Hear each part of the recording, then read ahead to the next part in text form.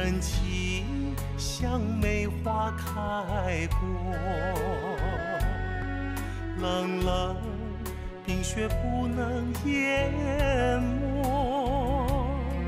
就在最冷枝头绽放，看见春天走向你我。雪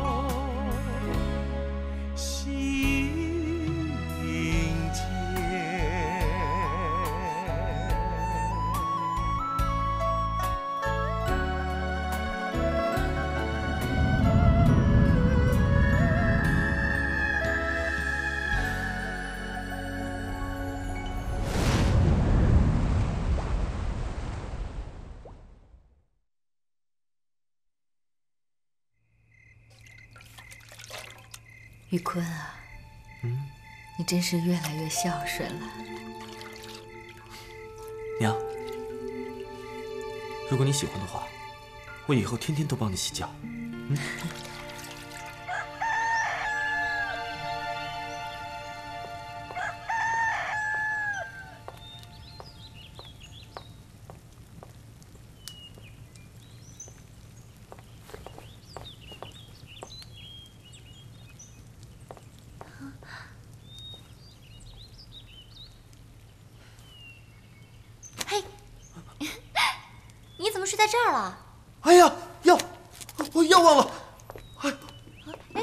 不是福星叔在煮药吗？你怎么来了？还在还在，不是，我是想亲自为文姨熬药。正阳，啊，谢谢你啊！看到娘开心，我也觉得很欣慰。这都是我应该做的。来，哎，你怎么这么早就起来了？当然是做饭啊。做饭？哎，那秀云呢？秀云啊，那个懒虫，不到晌午他才不会起来呢。千惠，你果然人如其名，一样的贤惠。娘，药不烫了，来喝吧。哎呀，这什么药啊，这么苦啊！良药苦口啊，娘，这样效果才好啊。我又没有病，为什么要给我喝药啊？我不喝。哎这是大夫开的补药，喝了之后能强身健体的。娘，好了，再喝一口。嗯，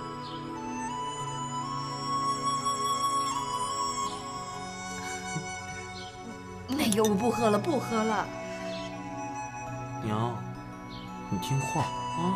玉坤，娘想吃西瓜，你让福星去买个西瓜回来。西瓜，好啊，娘，这样，你先把药给吃了，之后我再给你去买西瓜，好不好？来，没有西瓜，我就不吃药。娘，好好好，我这就去给你买西瓜。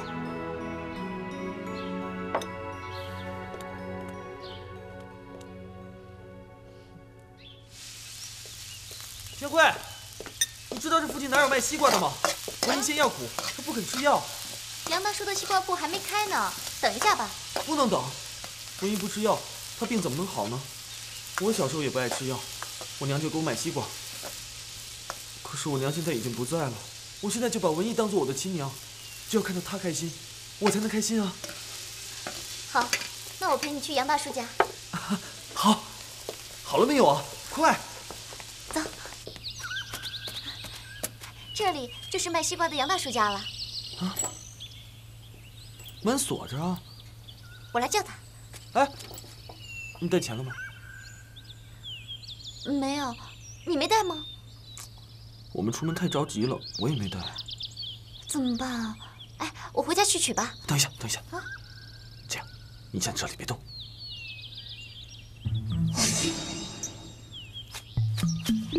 你干嘛？借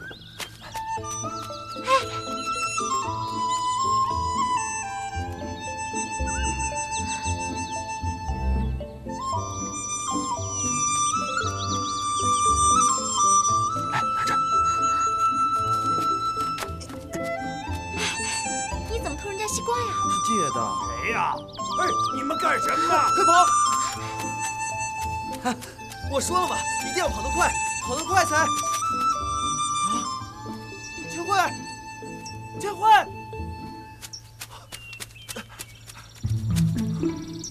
哎呀，没事的。对不起，我真的不是故意的。谢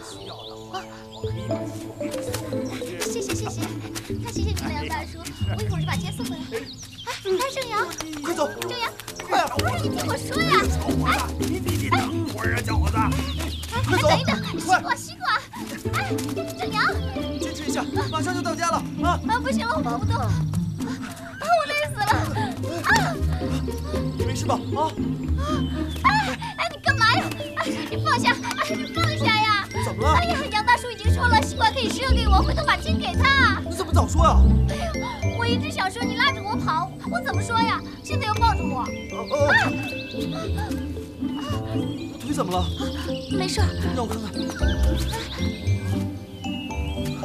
受伤了怎么都不跟我说呀？都怪我不好，我都不知道你受伤了。我先帮你包扎起来，来，回去我再帮你涂上药啊。你是为了我才受伤的，对不起啊。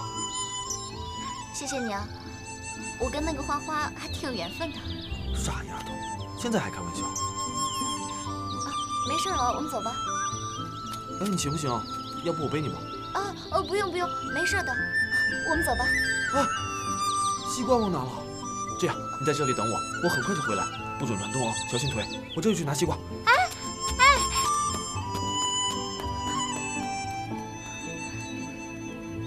娘，吃西瓜喽。娘。这是哥今天早上刚买的西瓜，慢点，快尝尝吧，可甜了。来，快点。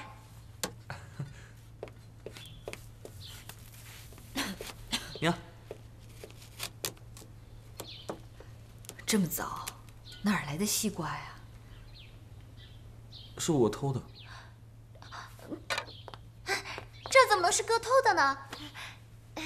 这个，呃，是从杨大叔那儿赊来的。他一会儿会来拿钱的。娘，你先吃，可甜了。啊，对呀，西瓜可甜了，你快尝尝吧。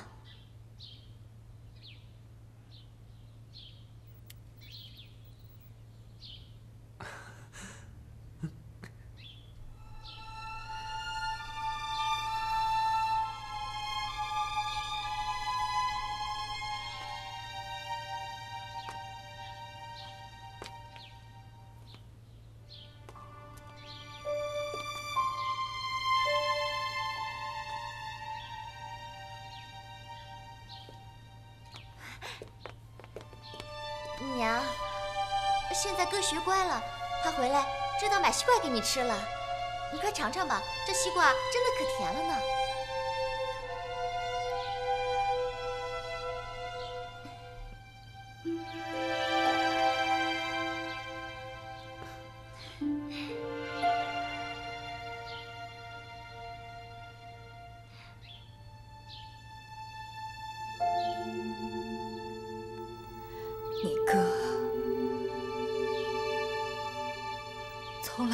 买过西瓜，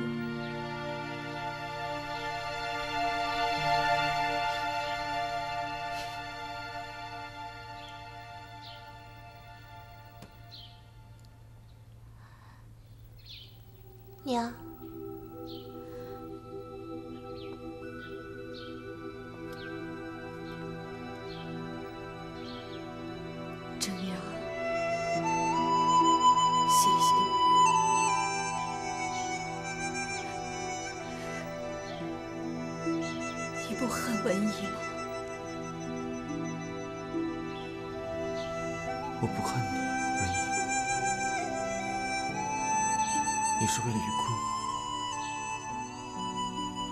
自己的孩子。如果我娘还活着，我相信她也会为我付出一切的。我最大的愿望就是想买西瓜给我娘，可可现在已经不可能了。这段时间，我一直都把你当做我的亲娘，文艺，真的。你真的把我当做你娘？那你叫我一声娘，叫我一声娘啊！娘，好孩子，娘。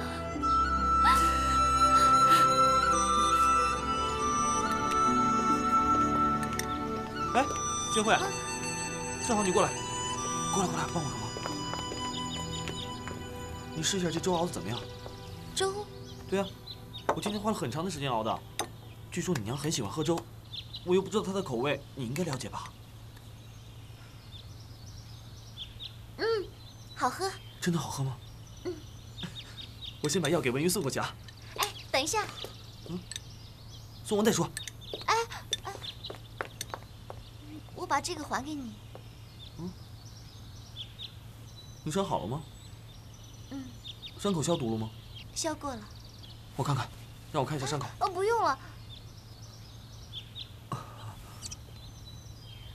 不是，你别误会啊，我只是想看一下伤口而已。我啊，没有没有，我没有误会。嗯，还有今天早上我们偷西瓜的事情，能不能不告诉秀云啊？偷西瓜？为什么呀？呃，我怕他误会，我把那个帕子还给你，也是怕他误会。误会？怎么？好了好了，呃，我要先走了。误会？哎，千惠，什么误会啊？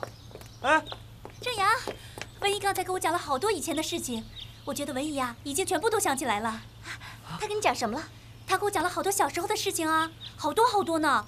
哎，对了，文姨跟我说，她就是吃了一个西瓜才想起来的。是谁给她买的西瓜呀？是我。是你？哦。呃不，大小姐，您买的西瓜我给您送来了。嗯。哎呀，正阳，我求求你了，你就帮我这个忙好不好？秀云，这忙我真帮不了你。哎呀，我知道这西瓜的事情啊，千惠姐不告诉我是怕我多心来着，我真的不会介意的呀。哎呀，我就想让你陪千惠姐多说说话，好不好？陪陪他解解闷儿，好不好？赵秀云，你把我当什么了？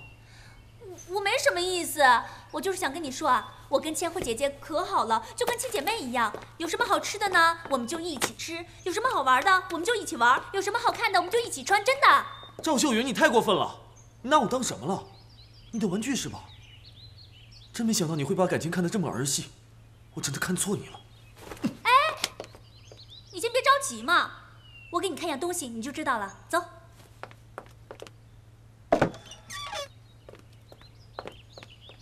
过来，这是千惠的房间吗？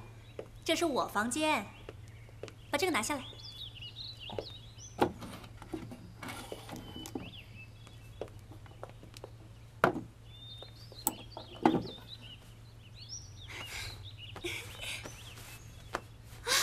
找到了，就是这个。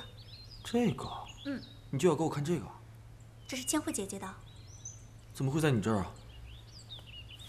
小时候啊。我经常和我爹去找你这个大笨蛋，文怡呢，整天逼着玉坤哥哥读书，千惠姐就没人陪他玩了，也没人陪他说话。那个时候啊，爹送了他这个布娃娃，姐呢就整天对着这个布娃娃说话了。后来唯一知道以后，就以为千惠姐傻了，就要把她扔掉。千惠姐姐死也不肯，她就偷偷的把它放到我这儿来了。正阳，你现在应该清楚我为什么要找你帮这个忙了吧？我没有别的意思，你要是不愿意单独，那就跟我一块儿，我们多陪陪千惠姐，多跟她说说话，帮她解解闷儿，好不好？好不好嘛？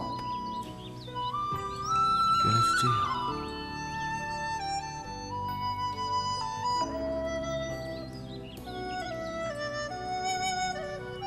太阳出来喽喂，喜洋洋喽啷罗，舀起扁担啷啷踩，狂踩上山岗喽啷罗。真情像草原广阔，层层风雨不能阻隔，总有云开日出时候，万丈阳光照耀你我。真情像梅花开过，冷冷冰雪不能淹没，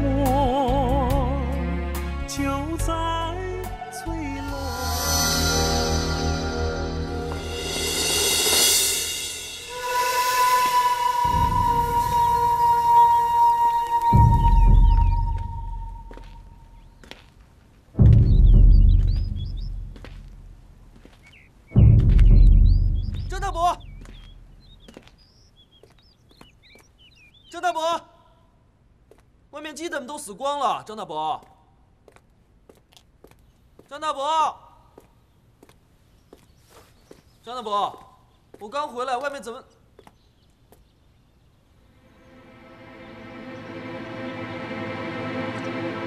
张大伯，张大伯。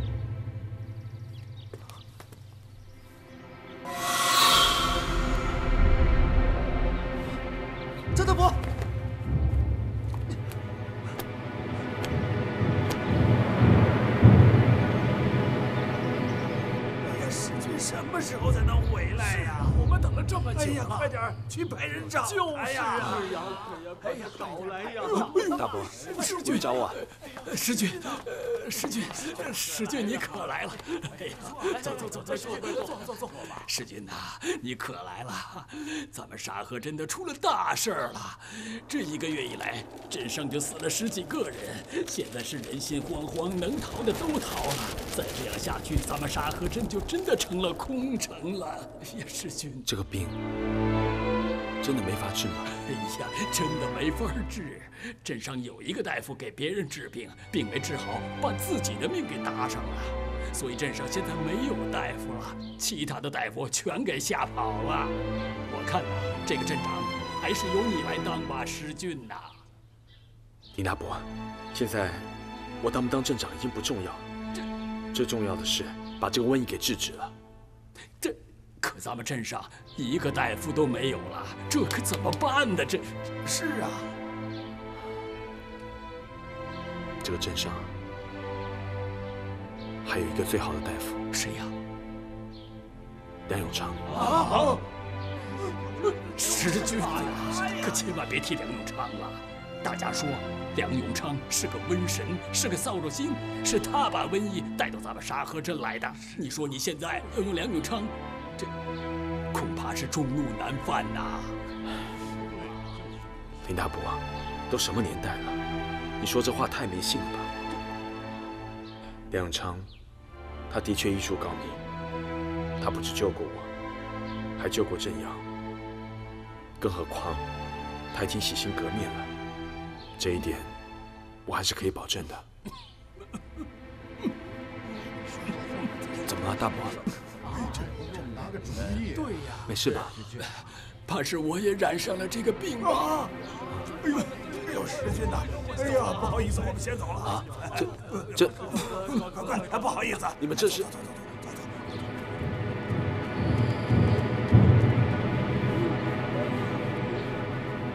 什么？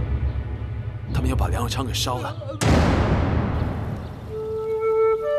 张大伯，我相信你在这里不会孤单的，因为这里有我妈咪，还有大块头叔叔、婶婶，他们都会陪着你的，也会替我照顾你。秋云，我们回去吧。嗯，张大伯，那我先走了，改天再来看你。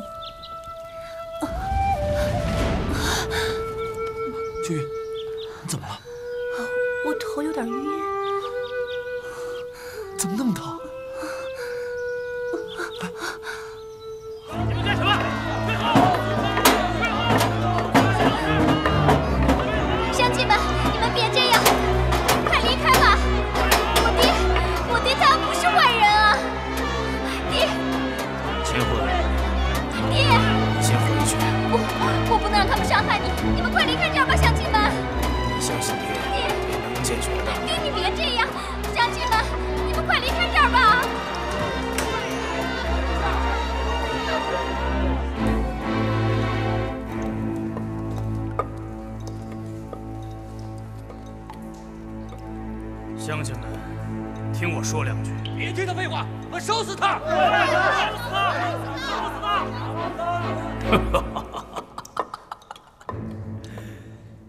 千惠，我明白了，赵石俊这个镇长给罢免了，这沙河镇就什么都乱了。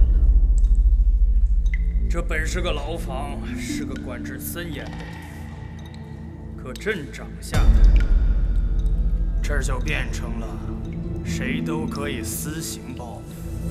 可我不怪他们，如你所说，这都是我应得的，应得的。你知道这是什么？这便是报应。别说那么多了，我们不相信他。对，不相信他，不相信他，烧死他！好了，你们真觉得我梁永昌是那个瘟神？就是你，不是你是谁？不是你是谁？好，我只有一个请求。这件事儿与小女千惠，请大家饶他性命。我梁永昌今天要杀要剐，悉听尊便。爹，把他带走！带走，带走！爹，烧死他！住手！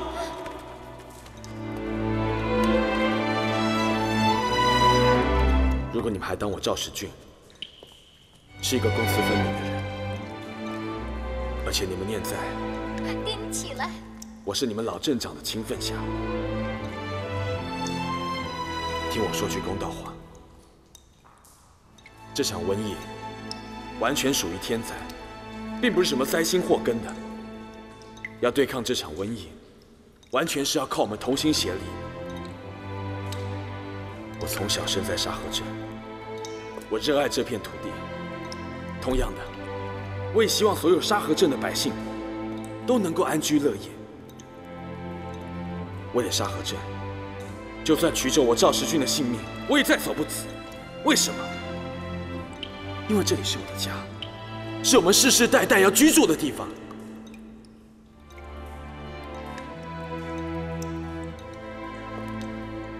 因为每一个人都是我的亲人，每一份情都是亲情。我请你们冷静的想一想，我赵世俊什么时候做出对不起沙河镇的事情了？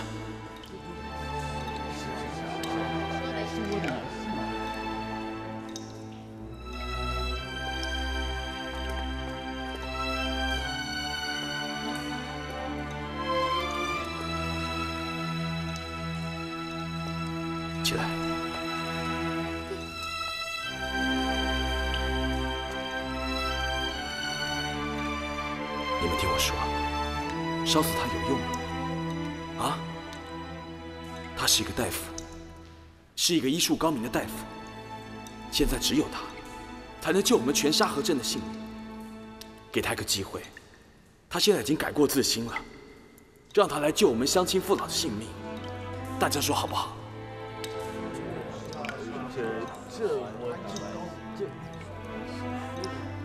石俊兄，我很感谢你对我的信任。不过说心里话，这场瘟疫来势凶猛，我没有一点把握能治好他。爹，再说，单凭你这三言两语，你觉得说我不是灾星瘟神，他们会信吗？不相信，绝对不相信！绝对不信？大家听我说，我以人格担保，如果我赵时俊真的看错人的话，有人把我烧死，我没有半句怨言。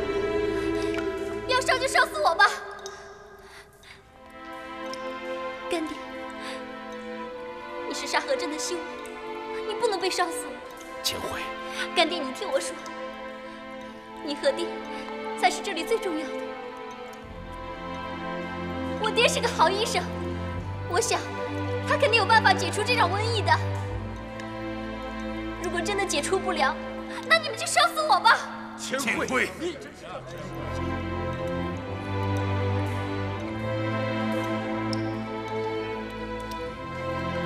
爹，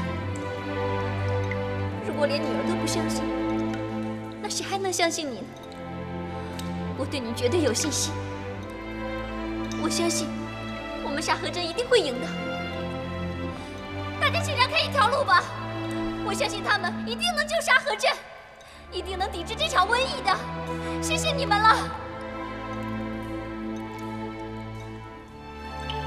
赵世俊，我梁永昌跟你斗了何止二十年，时至今日，我不得不对你说一个“福”字。谢谢，谢谢你为我养育了一个这么好的，我拜了，拜得心服口服。我梁永昌做人做事，一向是宁我负天下人，也不让天下人负我。可今天，有一个人我是万万负不了的，便是我这宝贝女儿。爹，丫头，你胆子真大，你就不怕爹又赋予你吗？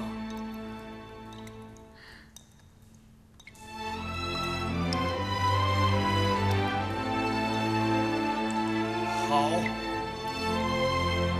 七天，给我七天的时间。如果七天之内我治不好这场瘟疫，你们再烧死。石俊，我就看在你的面上，梁永昌，我就给你七天时间，七天之后一定把你烧死。对，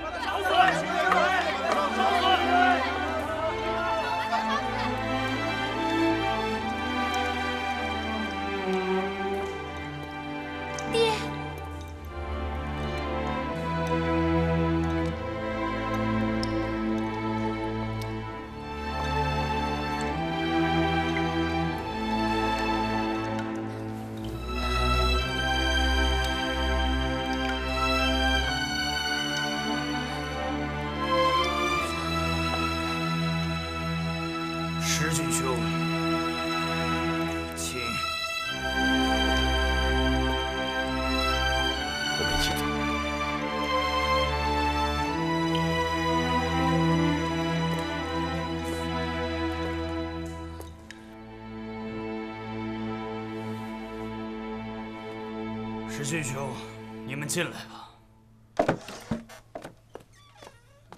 啊大夫，我家老头子到底得了什么病啊？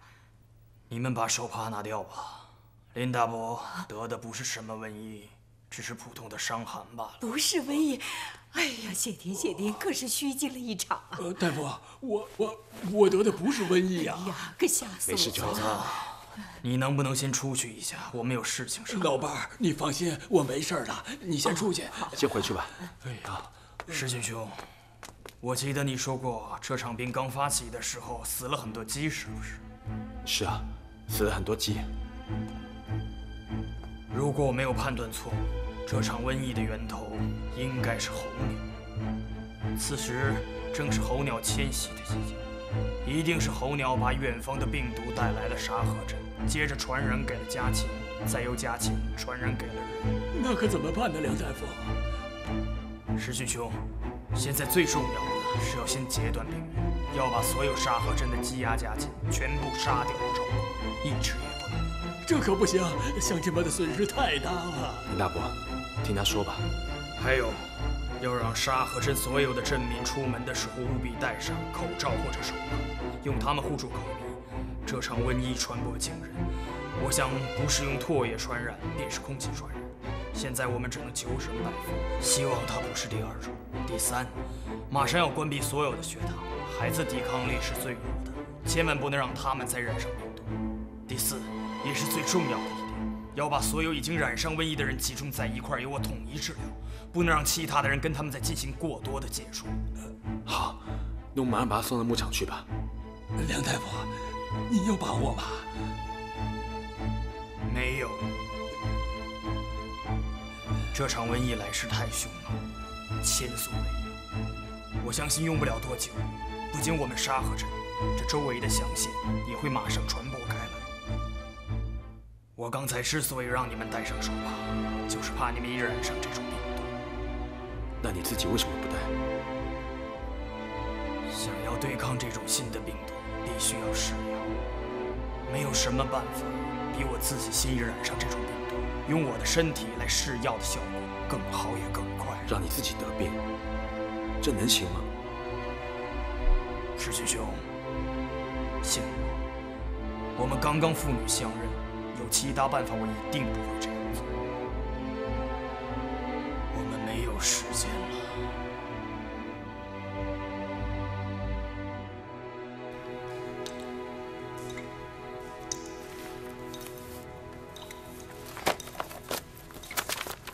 让我见见他，让我见见他！不许进！让我过去！不许进！出去！让开！出去！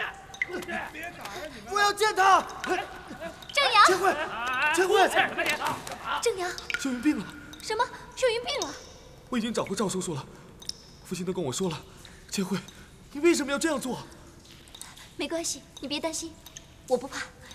我爹是这里最好的医生，他一定有办法抵抗这场瘟疫的。所以，秀云也不用怕。千惠，你真勇敢。贵父老乡亲，我就是当年邢寡妇的儿子，邢正阳。你们知道吗？连永昌害过我，害过我大块头爹，还害过我娘。我和梁永昌有不共戴天之仇，我对他绝对不会有私心，我对他绝对不会有任何的偏袒。但是你们要相信我的话。他虽然害过我们一家，害过赵叔叔一家，甚至害过整个沙河镇，可是现在赵叔叔，甚至千惠，他们为什么愿意做抵押，愿意做人质，还不是为了整个沙河镇啊？梁永昌的医术，你们有目共睹，方圆百里之内，无人能及。现在只有梁永昌能救我们沙河镇了，而且他现在已经变了。你们为什么？为什么就不能相信他呢？你们为什么就不能给他一次机会呢？我已经说了，我和梁永昌有不共戴天之仇。如果要做人质的话，你们把千惠放了，换我。正阳，不要说了。如果梁永昌还牵连到上河镇的话，你们就唯我是问。正阳说的对。文姨。娘，千惠，梁永昌是跟我们有仇，可今天我也愿意为他做抵押。你们想，他的仇人都为他说话，你们还有什么好担心的呢？不是我原谅他，只是事到如今，我们沙河镇的每一个人都必须团结起来抵抗天灾。梁永昌是个好大夫。多一个人就多一份力量。你们看，他们多年轻，有更多的事情等着他们去做呢。我愿意留下来。如果这样能让你们放心的话，我也算为沙河镇尽了一份力量。文姨，你们听我的话，让我留在这儿，你们去做更有意义的事情。救人的每一刻都很重要，不要把时间浪费了。啊！娘，你们开门吧。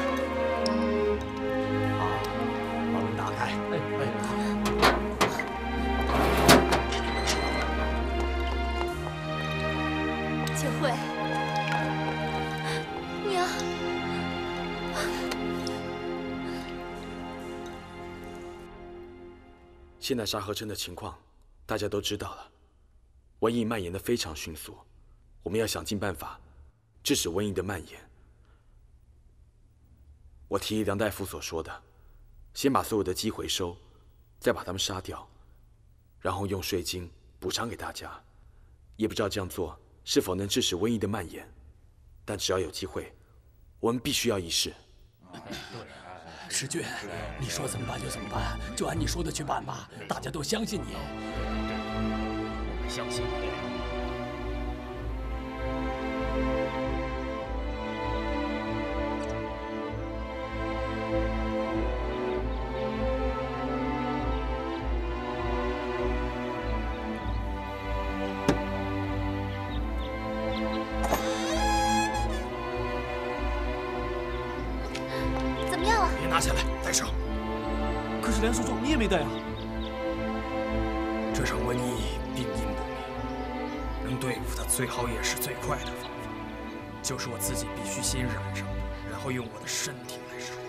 这怎么能行呢？傻孩子，六天过后，如果还对付不了他，爹不是一样会被烧死？六天？那秀云怎么样了？他恐怕真的染上了瘟疫。啊！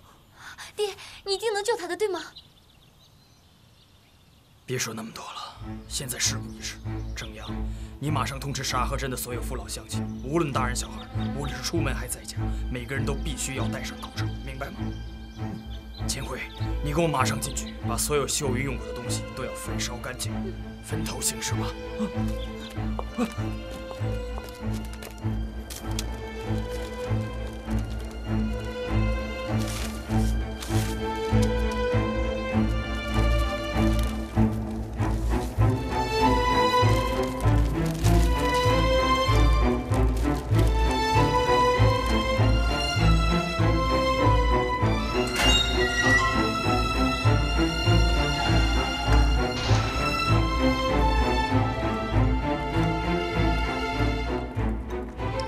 事吧，文英？我没事，怎么样？我没事，你还好吗？还好。千惠都跟我说了，谢谢你。别说了。对了，外面现在情况怎么样了？现在感染瘟疫的人全部隔离在牧场里，应该不会扩散。对了，这个病到底有没有得治啊？不知道，我们只能尽力了。一切可能要看天的安排。孩子们怎么样？千惠还有正阳在牧场里帮助梁昌照顾病人。秀云，秀云怎么了？秀云可能也染上这个病了。世君哥，你不要担心，新慈姐一定会保佑秀云的，我们都不要放弃，好不好？对了，梁昌有一封信要交给你。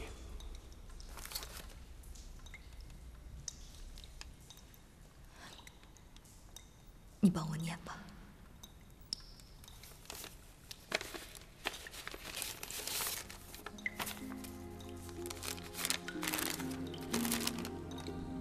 婉莹，对不起，我曾经伤害过你。我知道，你一直都很狠。其实，在我心里，这些年我觉得亏欠最多的人，也是你。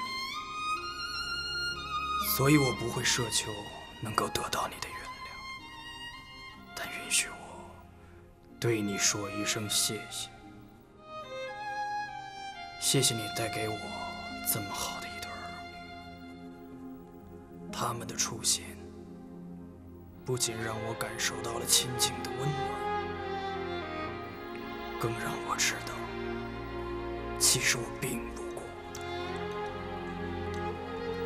这个世界远没有我想的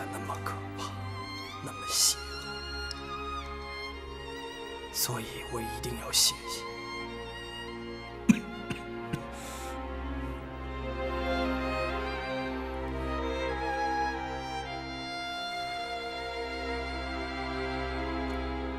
如今，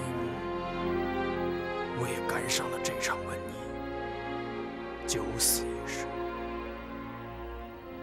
请一定要答应我，如果我真的有什么不测，带着玉坤和千惠，尽早离开沙河镇，照顾好他，也照顾好自己。我梁永昌已经欠你够多，我不能为你做什么，但请你相信我，就算我做鬼，也会保佑你们母子三人一生平安。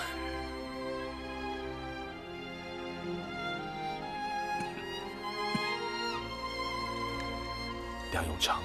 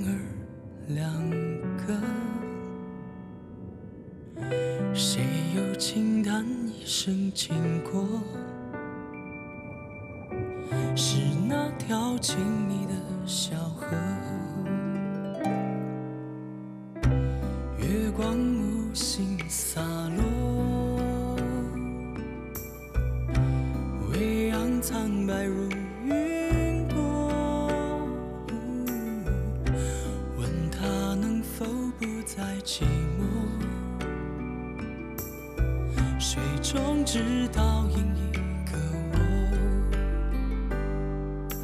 今夜的风又在吹来一首歌，那是谁为心